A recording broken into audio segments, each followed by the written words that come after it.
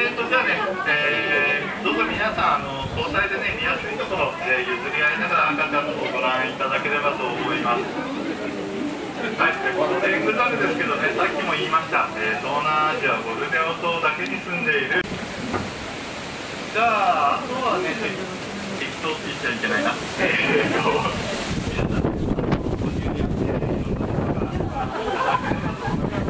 あまり、近づきすぎるとね、動物もびっくりしてしまう時ありますのでね。えーまあ、皆さんも、ご覧いただければと思います。で、何かわからないことありましたらね、近くの職員の方に声をかけていただければと思います。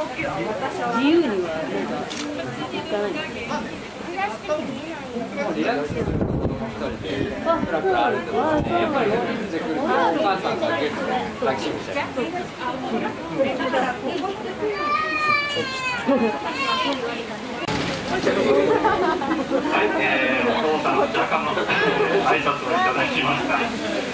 い、で、この赤ちゃんですけどね、えー、子供のポーズ